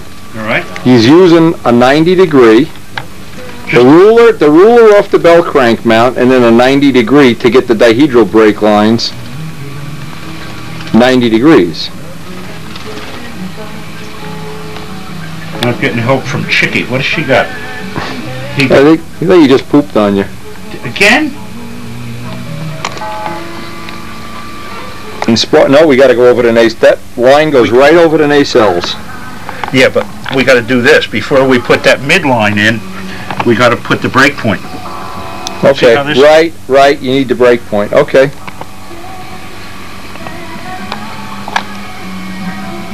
Plus, we have a 90 degree line here, Les says, uh, conveniently enough, put a 90 degree line that we can use for reference.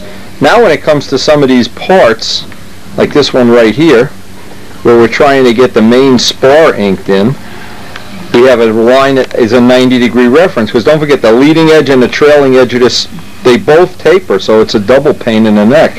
You can't reference off the leading edge or the trailing edge in either case. For that main spar, now you've got a, this is gonna be a prototypical line, so we wanna get this right. If we're Main spar, what we're gonna do is measure forward, because this is a 90 degree line, measure forward the distance that we've scientifically evaluated and computerized, and, uh, it looks like it splits it right in half. It does. It, it, so just measure it and go by the half. Right, exactly. Let's cut it right in half, this distance and then that distance. That'll be the line. And that'll take, uh, we can put a little dot on the tape, a dot on the tape, and just connect the line. It skips some of the panels though. Measuring up, making a center line, a little template, so that we can get the, uh, the hatch, I guess that's an, some kind of a hatch on a real plane.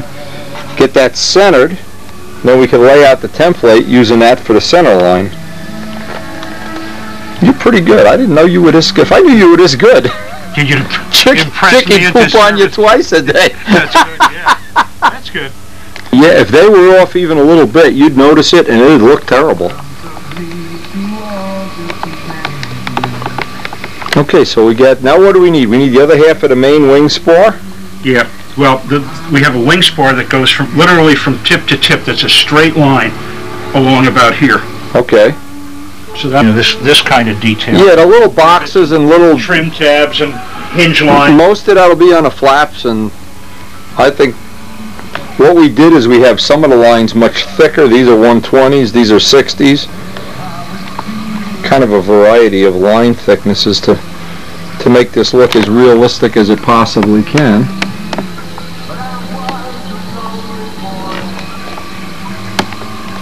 That's looking like we got, it's looking like we've got what we're gonna get. Now, tomorrow what I'll do, I'll put on the flaps. I guess we got the flaps, it'll, there's nothing with it, nothing else goes in the forward part of the nacelles. No lines go on that.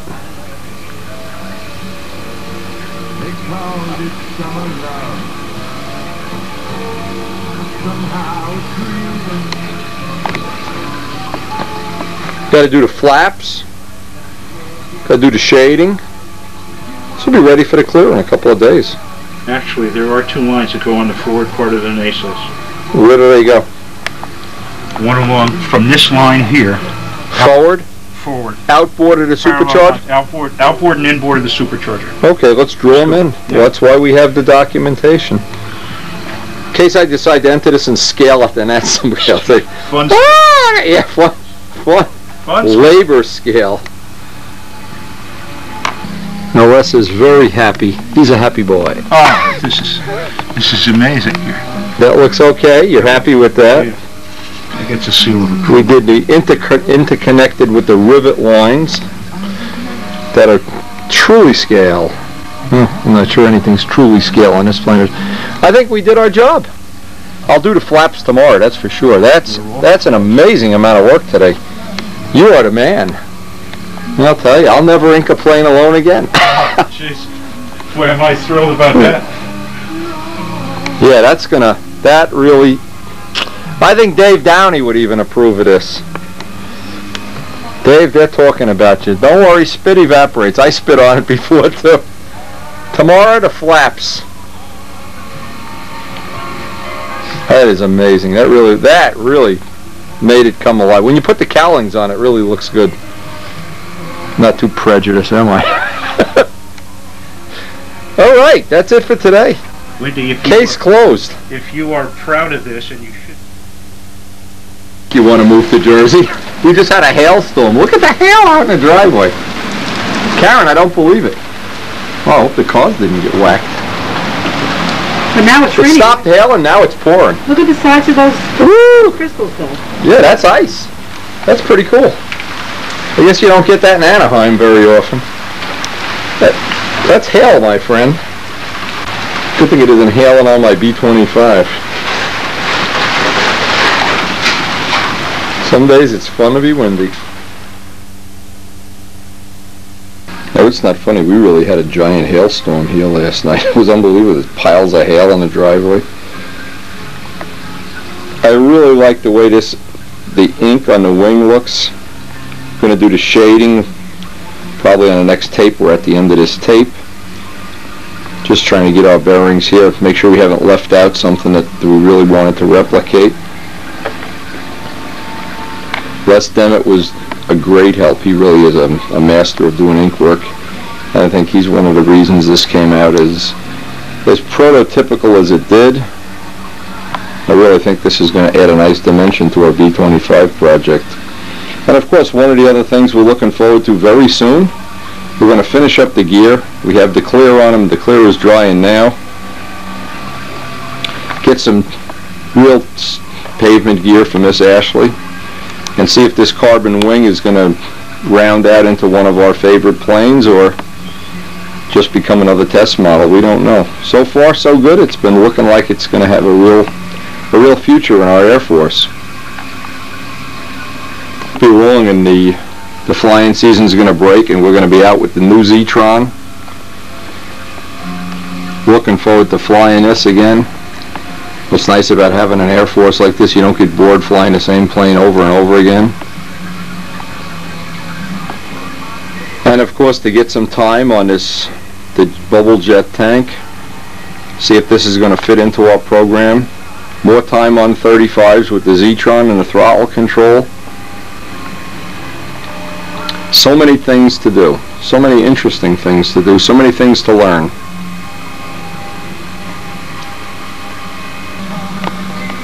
You learn anything today, Chicky? Yeah, don't go out in the driveway when it's hailing, you'll get wet.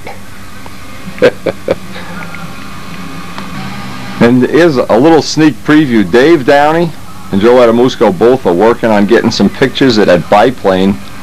I think it's called a Hawk. I'm not sure what their other designation is. I've already got computers at, pictures out on my computer, but I can't download them yet. I'm really looking forward to seeing how Joe, uh, Dave Downey, of course, is going to make a set of plans we can look at. Another exciting project. And we're looking forward to our upcoming trip to England this summer. Sometimes I wonder if I just don't have too many projects, too many things going on at the same time.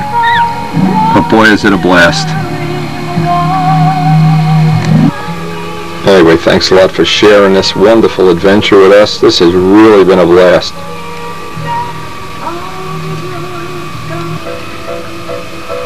And when I look back at all the time I've spent, the Spitfire time, the Miss Ashley time, the B-25 time, I always come to the conclusion, I always ask myself the question, what could I be doing that would be more fun than what we're already doing? I just don't think it ever gets any better than, than it already is. I just think this is the best time of our lives. And I'm so happy we can all share it with the tapes.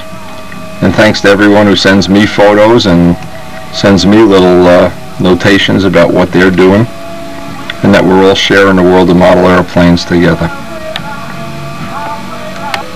Another thing we're scheduling real soon, we're going to be going out to Bobby Hunt's and having another another one of those wild bike riding sessions.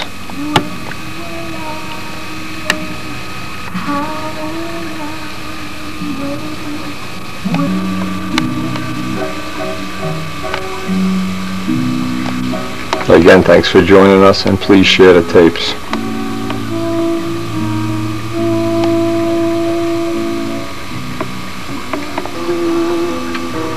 As I put this tape to sleep, one last final bit of information. Jimmy Casal has moved back to northern New Jersey, and may get to see him at the flying field this summer. Always a fun guy to hang around with.